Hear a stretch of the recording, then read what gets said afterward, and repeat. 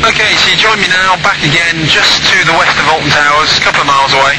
And we're just going to go through the simple process that I mentioned in the presentation and the information I gave in uh, How to Fly a VOR Part 1. So, what the first thing you do? First thing you do once you've determined what VOR you want to fly on is put the VOR frequency into the Nav1 radio, or whichever navigation radio you're going to be using. In this case, I only have one nav radio, which is nav 1, and uh, I'm not sure whether you can actually see the frequency or not. I guess you can. Uh, Definitely, Kilo entering the overhead 2,000 feet, 1001. 115.7 megahertz is selected as the frequency. I've also put 115.7 into the DME, so we can always tell our distance from the VOR as well. Uh, not all VORs have DMEs, and not all aircraft have DME receivers. What we're going to do now, as I mentioned in the video, probably the most important part of uh, flying a VOR is to ident the signal. So on this aircraft, as I mentioned, we have a pull ident here. Now on some aircraft you may have a, a, big chunk of electronics, modern electronics, glass cockpit, whatever, and your layout will be different. In most training aircraft you'll have a very similar layout to this. And in that case you simply pull the volume switch. Kilo descending dead side you simply pull the volume switch outwards and that turns on the audio. On this aircraft they also have a separate audio switch which I'm going to turn on. So I'm going to switch on the audio and I'm going to pull the ident switch and listen for the Morse code ident for TN TNT, Tango November Tango, which is dash, dash dot, dash. And you just heard it there, and if we wait again for a second, you'll hear another one.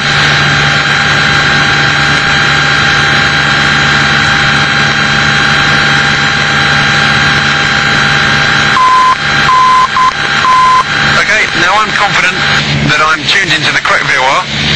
So what we're going to do now is simply turn the OBS dial on the OBI until we have a to flag, because remember we're flying to the VOR. We're going to turn it, we you see we have a from flag at the moment. If we turn that, you'll see it goes to a to flag. We have a to flag, and we're going to turn it until the needle centers itself.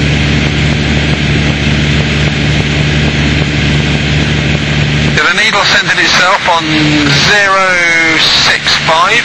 So what we're going to do now is turn the aircraft onto 065.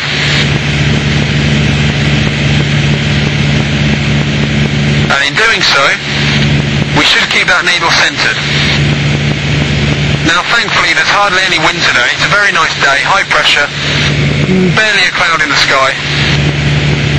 So today, our heading should be the same as our bearing. The bearing is 065. The heading is slightly off 070. You see the needle is ever so slightly to the left. That means we're being blown or we're flying ever so slightly right of 065. So we're going to correct that slowly. Have a look from the aircraft.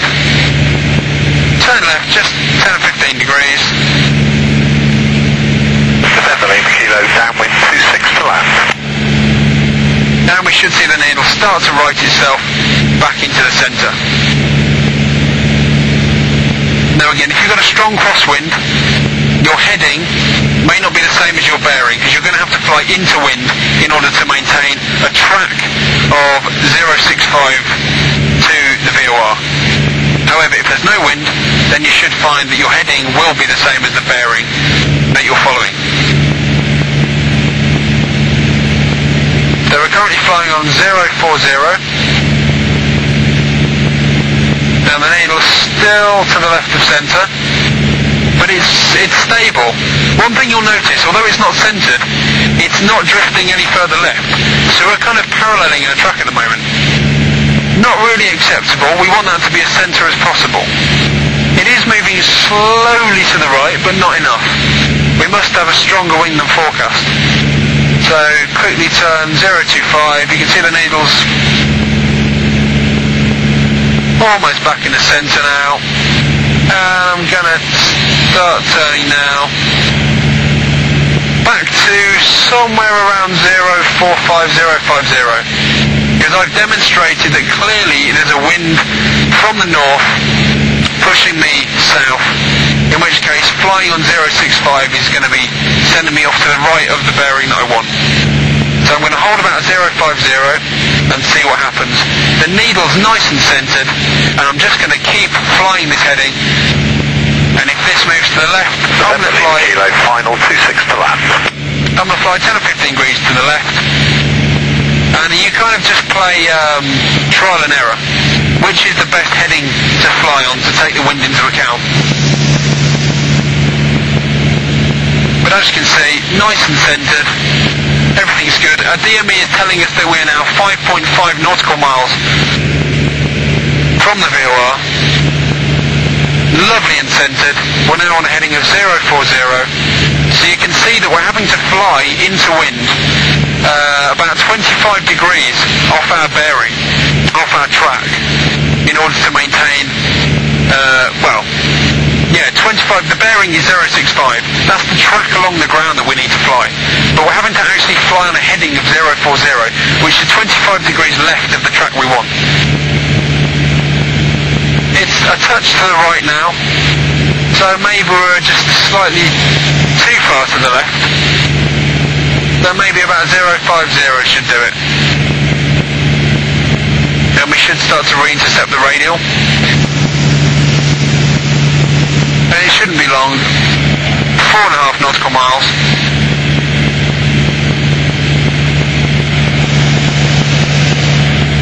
Maintaining 4,000 feet. Keep a good lookout. One of the hazards of flying in very good weather like this, we have high pressure and it's very hazy the high pressure is keeping all the pollution, all the smog down close to the ground November Lima. That although my vertical visibility is very good, my slant visibility is pretty terrible. It's not ideal. I'm within limits, but only just. And the higher I go, uh, believe it or not, the worse it gets. So still maintaining 4,000 feet, needles ever slightly to the left now, heading 050, but you'll notice that we're only 3 nautical miles from the VOR now. So we're going to turn left again.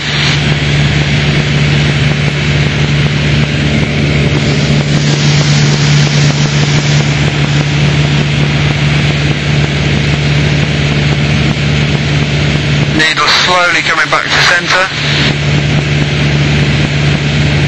I can see on my GPS there that the TNT VOR is directly in front of me, so it must be working. But we'll find out sooner or later. Maintaining 4,000 feet dead on. Now two and a half nautical miles.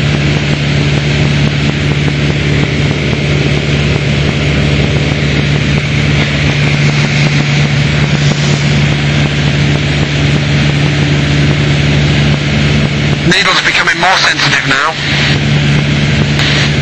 The needle moves bigger movements across the face of the dial for smaller movements of the aircraft. Two miles from the VOR. So shortly we're going to be entering the cone of confusion. And what you're going to see is that this needle at some point is going to slide off the side of the scale, left or right, depending on which side of the VOR we're on. You're going to see the to flags become a from flag, and you're going to see a warning flag appear. I think the warning flag appears up in the top right-hand quadrant. Not 100%, but the to flag will vanish, and a warning flag will pop up telling me that it can't get a decent signal. We're now spot on. Lovely centered needle. GPS is saying that we're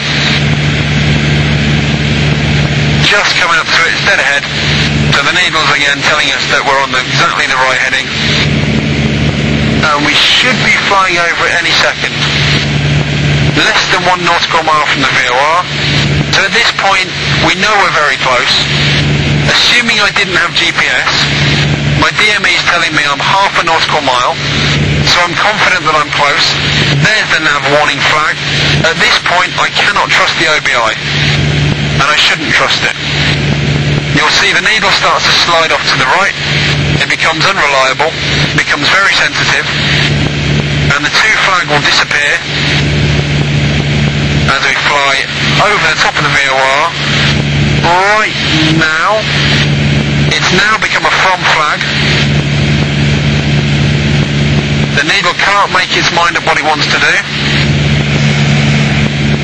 And we're now directly overhead the VOR. What I'm going to do now is do a turn, 180 degrees, and we're going to fly the radial back to Alton Towers.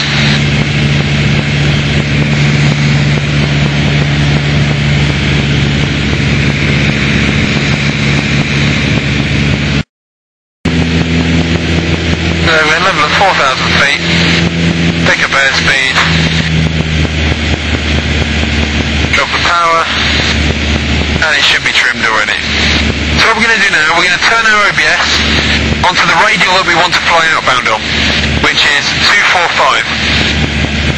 So we're going to turn that to 245, and we're going to nav flag. So we're directly over the VOR at the moment, so we can't rely on anything. We shouldn't trust it. I've set my radial 245, and that's the spoke, if you like, of a wheel that I want to fly outbound on. The nav flag has now disappeared and we have a from flag, so we know the VOR is behind us. Our heading matches our bearing somewhat, so we know that it's orientated correctly. And I have a needle to the left. That means I need to fly left.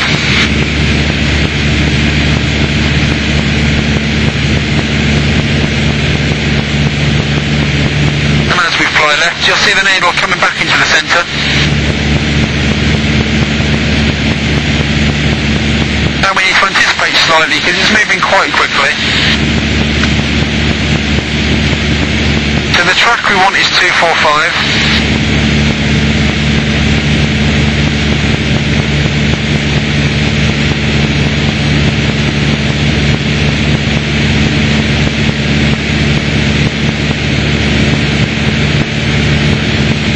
I'm going to fly on about 230. See if that brings us back into the centre.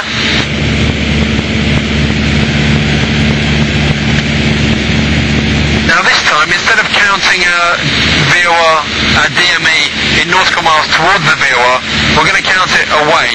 We know that our destination, Alton Towers, is, uh, I checked it earlier, it's 8.97 nautical miles from the VOR. Let's call it 9. We're currently 3 nautical miles, so we're a third of the way there already. And we're losing altitude for some reason. Keep the nose up. Now see the needle is very nearly centred. So we're now following very, very closely the 245 degree radial outbound from the TNT VOR. And if we maintain this heading of about 230,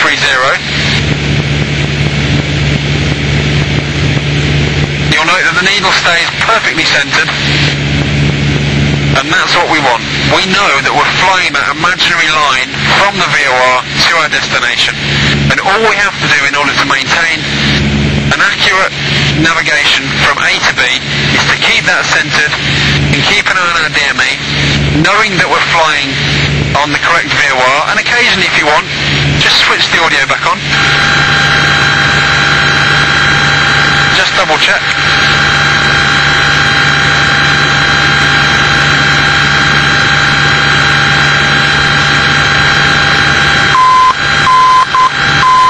So there's our Morse code signal. Depending on how far away you are from a VOR, you may want to check it more than once or twice en route, especially if you're flying and you notice inconsistencies in where you think you should be or where you are. You should be flying to the left of a large reservoir, for example, and you look below you and you're flying directly over it or you're flying at angles to it relative to, I don't know, a nearby town centre or a railway line.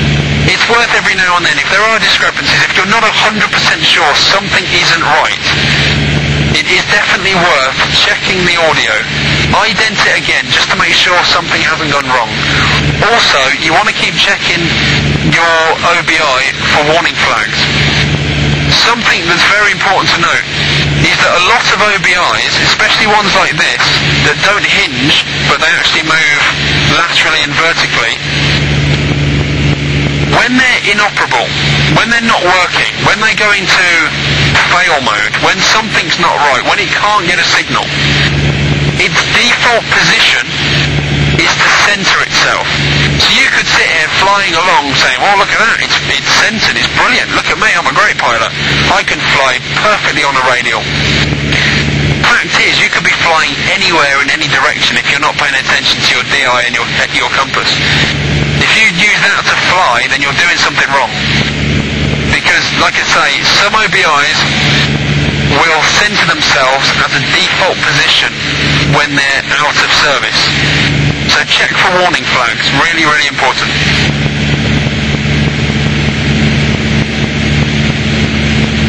So things are looking pretty good for us. We're maintaining our altitude, bit lower than we were when we started, but we're maintaining 4750 there or thereabouts.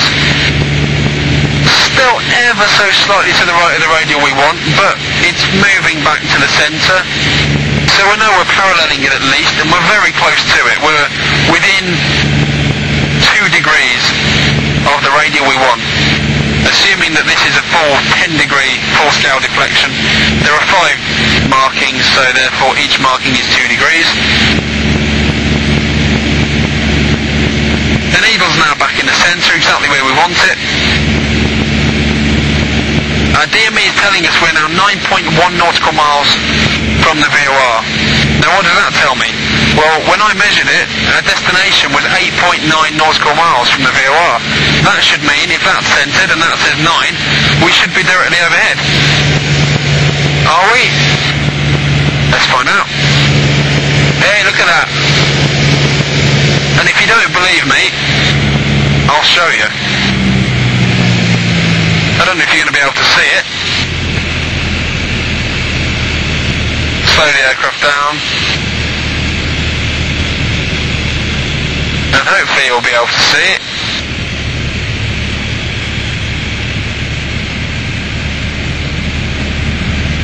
There is Alton Towers.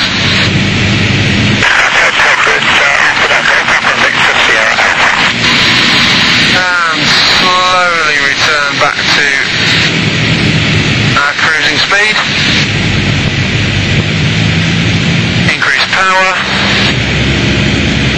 and that is how you fly to and from a VOR.